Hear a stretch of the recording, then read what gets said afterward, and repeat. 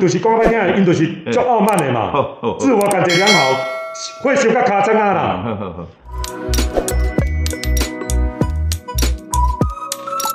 现在所在地方呢，是不是似曾相识？哦，现在在台中哦，台中之前有一个车主，因为他的呃 Leon 哈，他名字叫 Leon，那他的车子是福特的酷卡。啊，有一些跟哎在原厂一些消费上的一些纠纷哈啊，其实也不是纠纷，我觉得就是大家的认知上有一点不一样，然后引发了后续很多连锁的一些反应跟反馈，跟一些呃双方的一些立场。哦，我们把那影片 PO 上去了以后呢，那引起很多的讨论。那有的人觉得原厂哎就是有他的坚持，啊，有的人很支持车主，那就各自各各自有各自立场啊。其实我觉得大家可以来讨论哦，对，但不要谩骂，然后比较理性和平的方式去讨论这件事情。那今天为什么又在这里呢？因为利勇又来了，嘿，不是是我又来了哈，我又又又到这边来了，因为耶哎，利勇哈，那因为他的这件事情在福特，因为福特这个酷感也好，或 Focus 也好，其实很多人喜欢，那很多人也在关注这个车车子，所以很多人关注这件事情，就很多人一直问我说，那后续的状况到底怎么样呢？可不可以来拍一下他们大和解的画面？但是呃，直到今天好像也没有那等到那个画面，未来怎么样不知道，但是至至少今天一月二十号还没有了哈。那我们呃先跟那个大家报告一下之前发生的事情，就是呃他去车厂，然后有好像遇到一些那个车车子本身的一些问题嘛哈，是然后这个业务上面登载的一些问题嘛是的哈，是的呃原厂可能不愿意呃。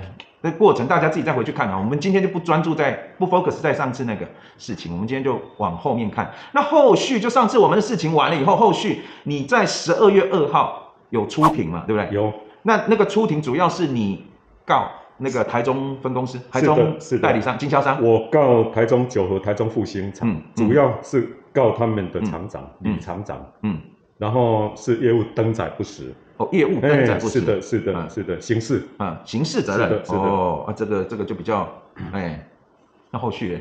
后续当然现在就快 哎。快过年了嘛，那法院我想应该也很忙嘛。还在还在等消息的对了，对？审审判的部分。是的，是的，好，那这个是车主对呃呃这个代理哎经销商哦台中经销商的一个告诉。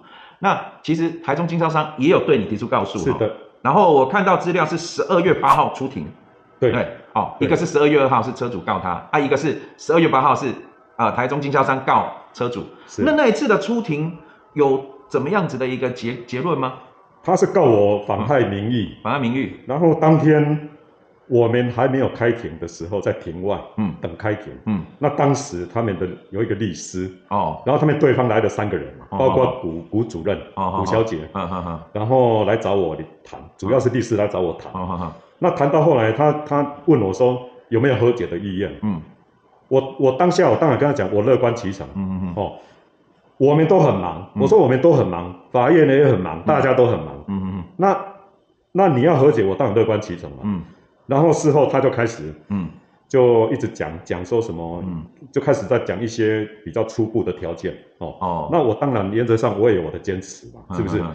我就跟他讲，我说我说事情是对就是对，错就是错。嗯嗯你要说我我可以，我一个一个条件我可以接受，就是说我们双方面有一个共识了，嗯嗯嗯。哦，还是什么，大家有一个误会，嗯嗯，然后有个共识，嗯。那我可以请，哦，我们我们的嗯。的的，嗯。哦，哦，请我是不是？对对，我们可以请啊请小新哦，影影片下架，不是不是，他有要求这个哦，他有讲哦，嗯那我有跟他讲，我保留，哦。我跟他讲，嗯。我没办法回答你这个问题，嗯。因为毕竟影片不是我的，嗯。嗯我也不是版主，嗯。哦，那下架的意思就是说我们是被摸头了吗？嗯，是不是？嗯？我们承认错误了吗？嗯。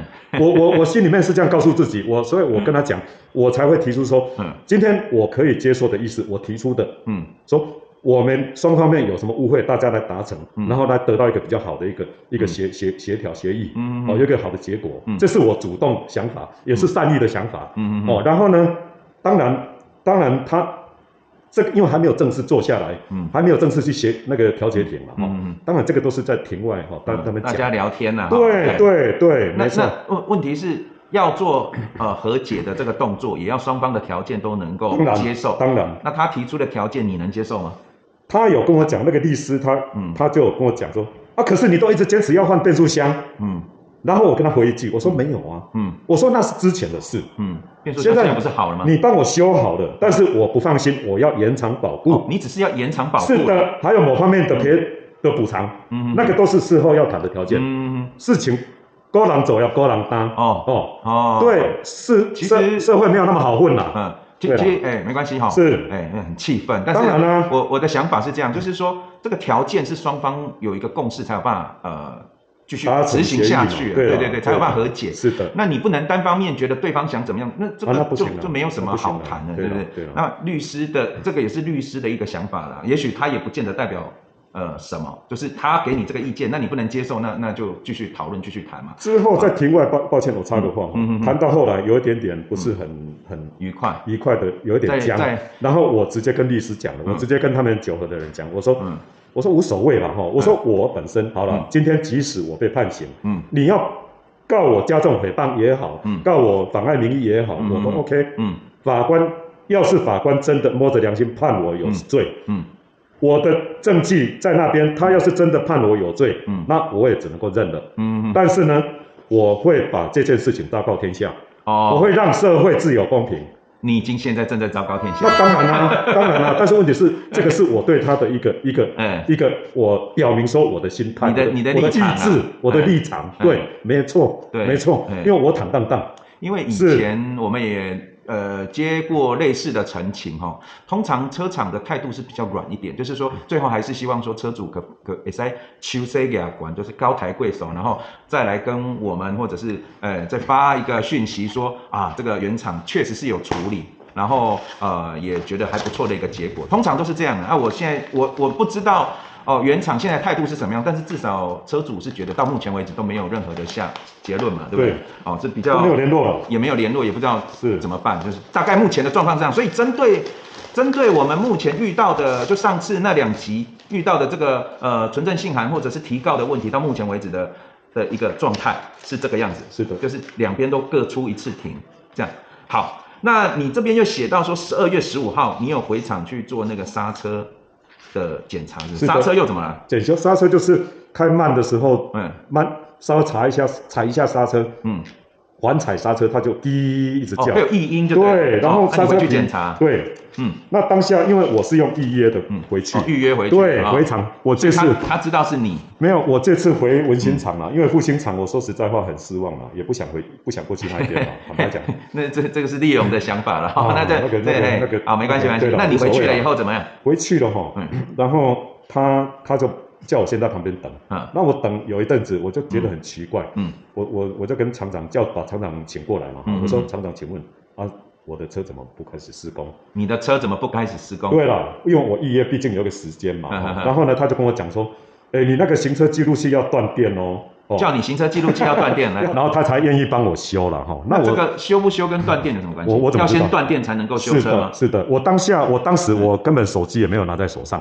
哦然后因为行车记录器会录影啊，对啦因为那个电通电会影响他的作业。他他开机就会录嘛，这这啊这一定的嘛哈。然后他他就说我要断电，我就反问他嘛，嗯。我说是每台车都这样，那我就接受。嗯嗯结果我去看其他的车，嗯。凡是开动的车、引擎发动的车，嗯。每一台都在录。客户的车。你你确定吗？确定啊。有有什么样子的他证明灯都在闪，然后哦那个荧幕都在亮了，那怎么不是录影？哦。当然啦、哦然后我当下我当然没办法接受，嗯。这次换我主动嗯。报警。哦，你因为要这 开什么玩笑？不只有让你录，然后你 只有他们会报警吗嗯？是不是嗯？而且你我不是拿手机这样录，没有没有没有没有行车记录器。然后呢，我他有跟我讲说啊，他们店有规定说不能录影哦哦。我有反问他嘛，我说我有录吗？嗯你有看到我手上拿手机还是摄影机在录吗？嗯我有录影吗？我那个是行车记录器，那个是关系到我的行车安全的一个嗯一个配备，嗯，每一部车都有。而且那个角度是固定的，对是对着对人，也不对对着特定的。然后我当下我是觉得，嗯，也是觉得蛮蛮蛮奇怪的也。没有什么，也也不觉得奇怪的啦，嗯因为坦白讲 因为有那么多次经验了嘛，是不是嗯？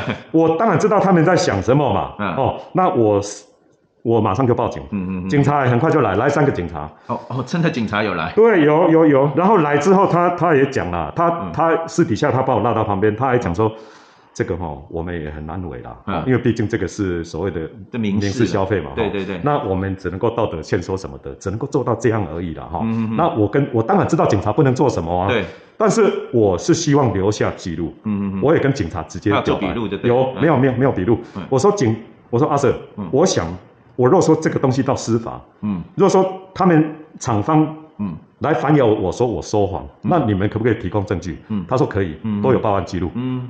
我说那我就放心了嗯，我要我要的是这个东西。嗯嗯嗯。哦，因为你你来你来你来这套嘛，是不是安尼？嗯嗯嗯啊，我干嘛当讲和你欺负，这嗯对不？和你欺负给。但是最终你还是没有录影啊，你到时候会被 最终哦，最终的结果就是我妥协了，啊，你妥协对，因为我的刹车比什么还重要啊！开玩笑，嗯是不是？我新车我来这边，而且他已经违反嗯新车保固的一些嗯，我想应该是违反的某一条内容，我还没有仔细去研究。嗯那还有一个就是法律的嗯。刑事强制罪。哦，强制罪哦，我为什么要提提提到这一点？嗯嗯就是我之前九月十六号去他们9月16号。复兴厂嗯。去检查底盘的那个事件。哦这个然后我当下去，他也一样，同样一套，嗯。哦，就第一次，第一次跟我讲说他们陈经理，嗯。哎，我不知道他的名字，我知道他是营运负责营运的嗯嗯的陈经理，这个人感觉很屌了，嗯。就很傲慢了，嗯。哦，很骄傲的那种感觉了。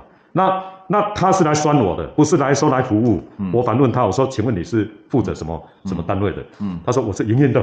嗯。我说，请问维修难道不是营运的一哦，的一环吗？客服不是最重要的一环。吗？你刚是在模仿他的态度。啊，是是是，然后呢，然后他们所谓的他们的正专员跟、嗯。跟他们的嗯。的科组长被交代，被这个陈主任交呃陈经理交代说，我不能去看车，然后呢也不能够拍我自己的，不能录影，不能拍照，所以你甚至叫我不能去休息室，有没有？上一次那个视频，嗯那是九月九月十六号，九月十六号的事情，是的因为那时候有发生呃有底盘锈蚀的一个问题，所以是有一些车友会回去检查。啊利用因为也是这个车主嘛，所以他回去检查因。为我是看到那个网络的影片了，哦对对对对上进汽车传的影片了、啊对对对是好，那因为这样子，你跟这一次的十二月十五号他不让你录影，你就哎联想到啊，好像有一点点这个当然啦、我想应该是他们的，嗯。因为我这个强制罪不是嘴巴讲讲而已，嗯。当下我我嗯，我不管他们的我不管他们的阻扰 还好被我拍到两张照片，哦都是都是连续的连续照片。哎，，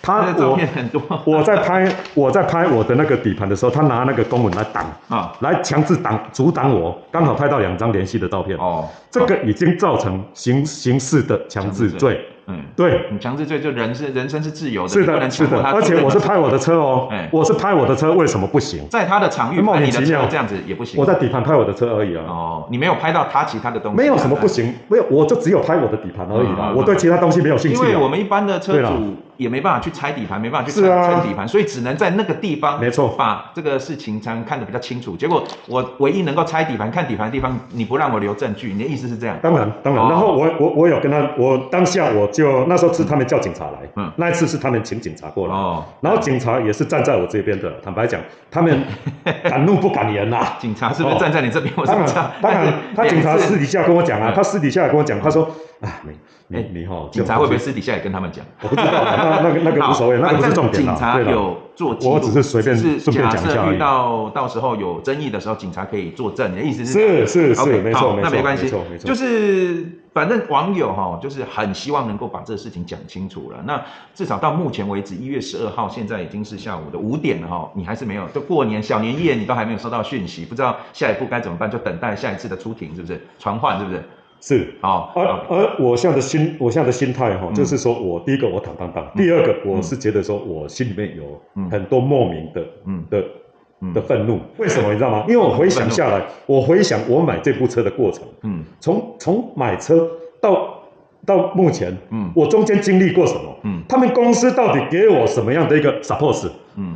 他们公司到底有来嗯。就就像我，我从头到尾，我把这个是录影、嗯。影像，我的变速箱会、会顿挫，嗯。很严重的顿挫，整部车就像被踹到一样、嗯。的那个影像，嗯。好几则录给我的业务。嗯，哦，然后呢，我请业务传给那个、对，传给厂长，嗯。传给他们的上面的人，然后还传给吴主任。嗯。嗯。吴主任是我后来我问他说：“你请问你有看过我的车子视频吗？”嗯。嗯。嗯。他跟我讲说没有，嗯他竟然跟我回什么？他说我又不懂车，哦哦。那我反问他嘛，我说我又不是叫你修车，我只是要叫你了解状况，你不要在状况外，嗯。是不是？嗯。这样过分吗？哎。传给他们科组长也也不读不回，嗯，都是这样摆烂的方式在面好好在在处理这种客客那个服的事情，我跟你讲，莫名其妙。所以你到到直到这事情已经搞了快半年了。我可不可以俩懂啊今天到目前今天这个时间点，你还是很堵然。当然堵然啊！我就莫名其妙，我为什么要受这样的对待？哦我第一次买福特，嗯，我也跟他们讲得很清楚，我跟他们的主管讲，我说我小时候嗯，家我们的长辈是开跑天下，啊跑天下。小时候嗯。我对福特还有一些感情在，嗯嗯嗯。哦，我到现在还有那种记忆，嗯。所以我才会到我这个年纪，我嗯。我想说，我什么车我买不起，嗯嗯嗯，我我想说，我就是那种那一份感情，我去买福特来开嗯嗯嗯，第一次买 就就遇到这样的鸟事，是。好，我我跟大家讲一下哈，就说这件事情在网络上引起很大的哦，你是说那个这一次福特 Focus 的水塞一一的事件吗？是的？，引起很大的回响。大家如果不知道哈，可以上网搜寻哦，Focus 水塞事件。那四月份它好像有一个启动的呃专案的一个处理。好。那我在这边再补充，嗯。我之前我在视频里面我也有提到，之前那那个我们之前录的影片我有提到，嗯。我加水箱那个机油的事件，嗯。机油加五罐的事件，嗯。那个时候是这样，我回去保养，第一次保养，嗯。哦，一万公里，嗯。然后呢，他他保完保养完了，我工单拿了我就走了，嗯。我也没有说，我也是信任他们，我想说换个机油没什么嘛，是不是？对，我回来我就发现，哎，奇怪，怎么引擎声音好像有一点不是很很很 OK，嗯。后来我就把机油尺拔起来，嗯。你知道多夸张吗？嗯。它已经在上限超过大概两至三公分。嗯嗯嗯很离谱。嗯。后来我跟他们约时间，我又回，我都有空单，我回去请他们嗯。再把我的机油确认一下，结果真的是过过多过多多过多，我要求他抽嗯，用抽的嗯，抽大概半罐，嗯差不多有半罐的那个那个机油量嗯，后来还是在上限，嗯，哦，目前还是在上限嗯，但是没有超过嗯上限以上的两三公分。对，他们就说好了，我其实我我是希望他在抽，嗯结果他说好了，那我就说，嗯，好好好。其实不管他抽多少起来，都对是你的钱呢。对，没错，没错，没错。然后呢这个是小事啦，这个倒是小事哈嗯。重点在哪里？大家可能都不知道。嗯。福特他这个召回之前，他还有一个，他不是召回，他每次都说客户关怀。嗯。他还有最是在在之前的一个新闻稿，嗯。没有几没有几天前，他就是所谓的机油渗漏事件。嗯。PVC 法回收法嗯。机油渗漏事件，嗯。他说严重者会有可能会起火，嗯。他说国内还没有发生这样的类似的的案例，但是他们基于怎样，讲到作水的啦，吼、嗯。都是讲到作水，讲啊我做主动的，嗯。我跟你讲了，嗯我早就在影片里面已经有讲了，我说这个东西为什么？嗯。因为我懂车的人，他这个东西你机油加太满，他在他的起轴里面，嗯。这样这样机油飞溅，阻力阻力第一个阻力耗油，第一个耗油，第二个严重的它会引引起积碳，嗯。这个都是慢性病，嗯。它它的油气过多会渗到上气盖，嗯。上气盖它有一个 PVC 阀，嗯。它就是负责嗯，以前是没有这种阀阀阀门，直接排到外面，嗯为什么？因为法规的关系，他要把它的油漆回收，然后再再回去燃烧一次。嗯但是呢，你机油太满，它里面都是机油。嗯然后我有把把它那个回收管，它它就是那个嗯快拆的，嗯我把它用手一按一拆就拆开了。嗯当下是里面都是机油，嗯很恐怖。嗯后来它机油抽掉比较少之后，这个情况就改善。哦改善了。我坦白讲，我的手机里面都有录影。嗯。我只是现在，嗯。我不想再再，因为我这个事情我也只是不要提再惹事了，提议到时候到时候你又多一条。不。是惹事啦，这个我我怕什么？这个这这个本来就是合情合理嘛，好好，是不？是？好，那那这个跟对。刚刚你说要讲那个四月 focus 对，然后呢，这个我都认为他们是在作秀，为什么？哦，因为因为他既然有心，你要你要去处理这个水塞事件，嗯。你为什么只针对哦。二月一号快要上市的四点五代 Focus，嗯。只针对 Focus 来做做所谓的顾客关怀？他的意思是说开什么玩笑？十月就已经有做过类似，但是他这个没有顾顾尬了，他这个不不准了，他嗯他他的他们公司的新闻稿是没有所谓的，所以你应该是这样讲，你的对意思是说 focus 跟酷感其实是同系统。本来就是同系统理论上同一颗啊，理论上 Focus 会有问题，酷感应该也会是的，C two 底盘嘛，那确定现在有人遇到这个问题？有也有有人有在一起案例，在零一里面都查得到，零一 Mobi。Mobile 零一，对，然后呢，它它的酷感，它的问题点在哪里？嗯它的布水箱一直补水，一直补水，嗯嗯嗯一直水不见，然后回原厂，原厂嗯跟他加自来水而已啦。嗯他说啊，你自己加，哦，水太少你再加，教他加糊弄嘛。没有帮他处理。糊弄哦。就糊弄一下，加一下，加一下，哎，等到熟去，等到恩怨熟去，再高速公路发生代志的时候，迄阵啊后悔都维护啊。哦，所以这个有安全性。你想看看一个涡轮动辄上千度，嗯对不对？那你那个水水塞，那个水塞里面是一个水道，嗯它应该有可能是它在加工的过程，因为它涡轮是一个圆嗯圆的嘛，就像一一颗蜗牛嘛。嗯嗯然后它在打那个水道的时候，它那加工有难有难度，所以它在中间打一个洞从那边二次加工嗯，然后它要把它塞回去嘛嗯。然后就是因为那个东西可能有问题嗯，它久了它甚至于锈穿。然后也有网络上也有人也有也有网友反映说是冷却液本身就有问题，这个我我也觉得很很有可能。好。为什么会锈蚀？对不对？冷却液本身就是防锈嘛，防锈防冻嘛，散热嘛，最基本的三个三个功能嘛。这这个部分对。是呃网友或者是利用他们的一个想法跟主张啊哈。啊实际怎么样哈呃原厂看怎么说，那到时候如果有被被就是召回或者是关怀的人呢，回去再帮我们补充一下，到底那个为什么要召回或关怀？关怀我都已经主动提出了，他他怎么不来关怀？你没有莫名。其妙，他讲的那么好听，关怀，就是那个变速箱事件嘛，是不是？好，那那就是现在嘛。现在我们就是在等这个法院的是。传唤哦，就是看下一庭要怎么时候，或者是要庭外和解要怎么和解。我当然是乐观其成啦。对坦白讲，我们也不没人要搞事啊。我们也不想说哦去浪费公堂。嗯。然后呢，嗯。因为坦白讲，我这个 case 前前后后半年，嗯。哦，前前后后半年，我是半年后我才请嗯。请我们嗯。哦的的媒体来嗯来哦来发表。嗯。这个尾期都是我都是车主在嗯在在吸收。在吸收。啊然后我们也是有诚意跟公司一直在那边嗯哦做一些沟通协调。嗯嗯，没办法嘛，没办法，我没办法，我只好告他们了嘛，好，好是不是？没关系，没关系。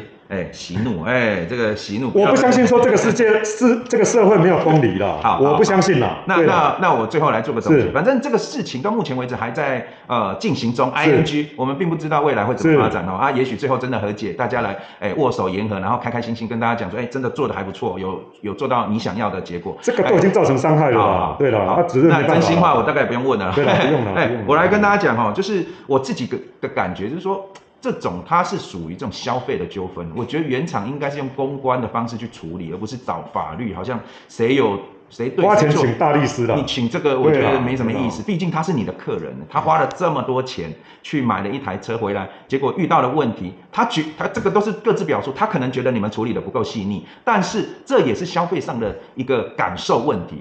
其实应该用公关来处理，而不是用法律。你告他告赢了，你真到最后有得到什么吗？得到大家对这个品牌，哎的另外更多的 OS 出来，不是吗？哦，所以我觉得呃，福特呢可以趁趁这一次的机会，哎，好好的来想一下，可以怎么担当了，对 来面对每个车主，不是只有我啊啦。哈哈，好，嗯，那好像很多类似的当然啦，车主网络随便 Google 都有了啊。OK，本来一个好好的品牌，我到目前为止，我坦白讲，我还在留言区留言什么？嗯我留说福特品牌没问题，嗯，有问题的是代理商的 他们的人哦，有问题的是人。哦，有问题是人福特品牌本身没问题，我再三强调，，OK，这样还不够挺你们吗？好，是不是？你们要好好的自我检讨嘛，好了好，要反省。哎，卖生气卖生气，我等下 等牙开，我讲较歹听的，就是就是讲较歹听的，因就是足傲慢的嘛好好，自我感觉良好，会修个卡针啊啦。会修个卡层。对啊 好，那我们今天哦，就是目前的状况是这样。如果说你有什么看法或者是什么想法，欢迎在下方留言哦，然后也给这个我们车主们呃一个鼓励，呃，然后一起看看能不能把事情圆满的解决。我们今天就到这里了，我带你个共撸共撸 key 串哈。感谢感谢师兄，大家欢喜，大家欢喜啦，对了对了那我们，下次见哦。嗯，拜拜拜拜拜拜。过年快到了，你们是不是想着如何除旧布新呢？推荐大家这台德国沙发双涡轮吸尘器。这台吸尘器拥有非常好用的专利立架，可以直接一卡就上。放着的时候就可以立着，然后打开，拥有十万转的马达，针对像这种毛毯、地毯，吸力非常的好。吸完以后，它就直接立住，One Touch，主机就拔起来了，哦，绑满刷头，床单啊或者是沙发都非常好用。那如果是比较细微的地方，可以换这种尖的刷头，然后它有两段式的，看你要不要刷毛，有两种规格可以选。那我选这个比较细的，直接装进去了以后，针对这种细节的地方呢，给吸得非常干净。非常轻便，直接带到车上去刷也非常方便哦。不到购物中心零头的价钱，原厂特别资源，欢迎多加利用。